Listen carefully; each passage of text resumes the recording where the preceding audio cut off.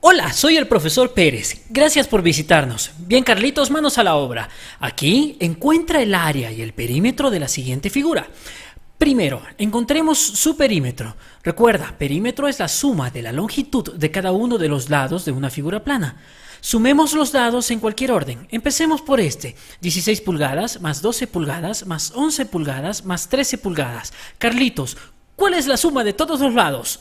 52. 52 pulgadas, muy bien. No olvides indicar las unidades y encerrar en un círculo o un recuadro tu respuesta. Bien, Carlitos, ahora encontremos el área de la figura. Vamos, no temas. Primero, recordemos que la longitud de este lado es 16 pulgadas. Tracemos una línea perpendicular aquí para formar un triángulo rectángulo. Ahora, vamos a encontrar el área del rectángulo y el área del triángulo rectángulo, sumarlas y luego obtener el área total de la figura. Bueno, Carlitos, tenemos 11 pulgadas aquí, es decir, 11 pulgadas acá. Bien, encontremos la longitud del lado desconocido, la cual es igual a la longitud de la base del triángulo rectángulo. 16 pulgadas y 11 pulgadas. Carlitos, ¿cuál es la longitud del lado desconocido? 5 pulgadas. 5 pulgadas, correcto. Pues 11 pulgadas más 5 pulgadas es igual a 16 pulgadas. Ahora, la altura del triángulo rectángulo es igual a la longitud de este lado del rectángulo. Por lo tanto, la altura del rectángulo es 12 pulgadas. Encontremos el área del rectángulo. Recuerda, el área de un rectángulo es igual al producto de la base por la altura.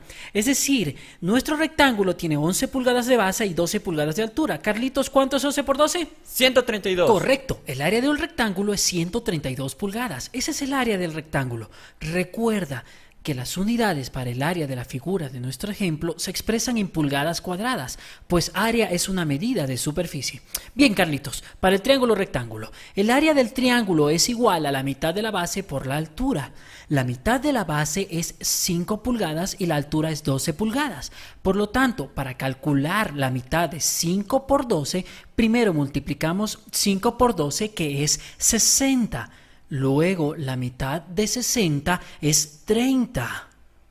No olvides que las unidades se expresan en pulgadas cuadradas. Ahora, para encontrar el área total de la figura, sumamos el área de las dos figuras. Carlitos, ¿cuál es el número? 162. Correcto. Muy bien. Nos veremos pronto.